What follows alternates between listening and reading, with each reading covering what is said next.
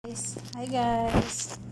For today guys, ang ituturo ko sa inyo ay kung paano gumawa ng corn salad ah, with vegetables.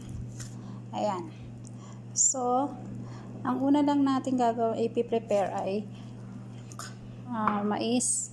Yung salata na guys ha. Mais, uh, bakdunes. Ayan, bakdunes.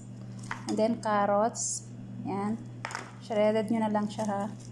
Tapos, ayan, tomato, slice nyo ng maliliit.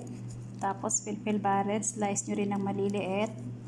And then, zet, uh, olive, ano to, zaytun, black zaytun, at saka green zaytun. Yung olive. Okay guys, start na tayo. Ngayon, dito sa isang bowl, ilagay natin yung corn.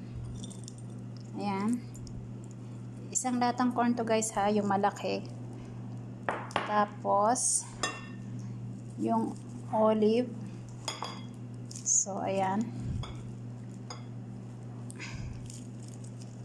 Ayan. And then yung tomato at saka filfil barret. Siya guys carrots. Ayan.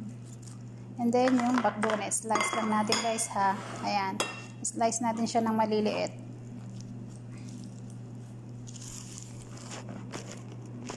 Oops.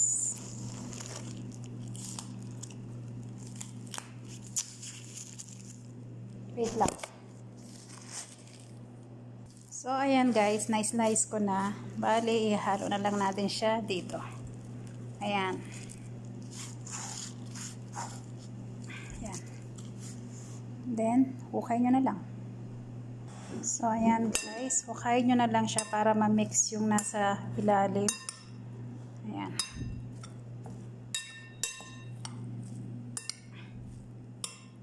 Simple lang naman siya guys. So, ayan.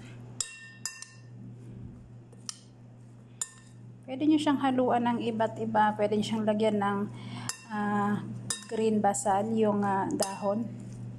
Pero ayaw ng amo ko yon kaya ito lang. So, yan. So guys, ngayon, ang ipiprepare ko naman ay yung sauce. So ngayon guys, yung sauce naman ang gagawin natin. Ang kailangan lang natin is lemon yan. Tapos salt. Ayan and then olive oil. Ah, ano to? Ayan. Fresh Ital Italian salad dressing. And then filfil aswad wala na akong filfil aswad so guys wait lang ha. Gawin ko muna. So ayan na siya guys. Yung sauce ginawa ko na. Nilagyan ko na ng Italian dressing olive oil filfil aswad and then salt pero tikman nyo guys ha, kailangan hindi siya maalat. Tansyahin nyo lang din.